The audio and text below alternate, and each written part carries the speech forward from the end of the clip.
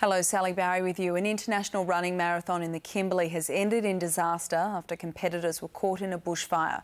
Two male survivors were airlifted to Perth tonight by the Royal Flying Doctor Service. Two women who had burns up to 80% of their bodies were taken to Darwin in a critical condition.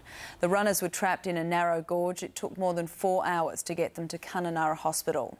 And a trapped logger in the US has told of his incredible escape after he cut off his own toes with a pocket knife. 911, what is your emergency? I cut my foot off. Tonight's winning lotto numbers are 22, 7, 27, 1, 21, 23, and the supplementary numbers this evening are 40 and 29. And that's all from the 7 News team. Enjoy your evening. Good night.